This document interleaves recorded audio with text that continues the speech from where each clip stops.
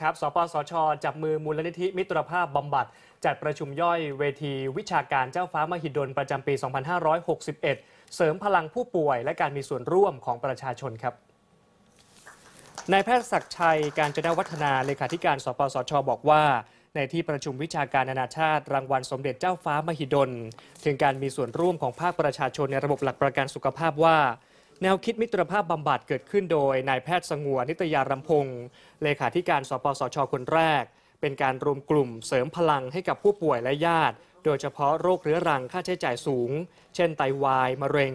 ซึ่งประเทศต่างๆ หันมาสนใจวิธีนี้ครับ เพราะว่าพบว่าเป็นการทำให้ระบบบริการสุขภาพ มีความยั่งยืน อย่างน้อยมีข้อมูลระหว่างหมอกับคนไข้เฉพาะตัวมากขึ้นนะครับที่สำคัญแม้ประเทศที่มีเทคโนโลยีทางการแพทย์ก้าวหน้า แต่ก็มีค่าใช้จ่ายในการรักษาพยาบาลสูงขึ้นเรื่อยๆ จึงต้องการมีระบบเสริม